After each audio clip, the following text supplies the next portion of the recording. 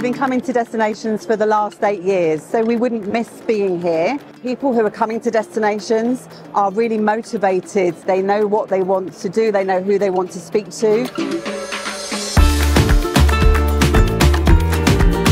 What I really love about the show is that you get to learn about experiences that maybe you haven't thought about, and there's also lots of great talks with panelists and people that inspire me. Is an amazing exhibition. It means we get to meet the perfect target audience for us. So we get to interact with those customers, our mass footfall to the exhibition. Looking online is a bit dreary and linear.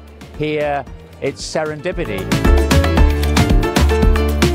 Riviera will be back next year. This has been such a great event for us. You could not see the flow for people and it would, yeah, it would, it would not make sense if we didn't come back next year.